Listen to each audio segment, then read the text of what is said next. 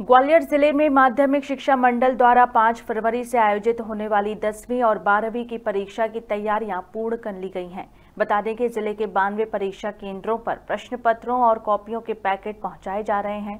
साथ ही ग्रामीण क्षेत्रों के परीक्षा केंद्रों पर भी परीक्षा सामग्री पहुंचाई जा चुकी है। वहीं आयोजित होने वाली बोर्ड परीक्षाओं में माध्यमिक शिक्षा मंडल द्वारा नकल रोकने के लिए शिक्षा विभाग और प्रशासनिक अधिकारियों के 27 दल गठित किए गए हैं। इसी के तहत शिंदे की छावनी स्थित शासकीय उच्चतर माध्यमिक विद्यालय में बनाए परीक्षा की सामग्री वितरण केंद्र से पुलिस सुरक्षा में भेजी गई है। ग्वालियर से संवाददाता योगेश बिसारिया की रिपोर्ट।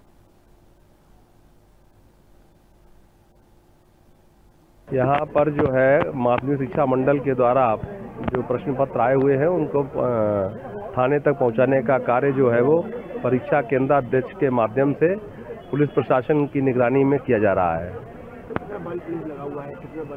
यहाँ प्रत्येक जो हमारा थाना है, वहाँ से एक बस में जो है बल जो है उपलब्ध कराए गए हैं और सशस्त्र गार्ड हैं, पुलिस के जवान हैं, उनके सुरक्षा में परिवहन सामग्री की जा रही है।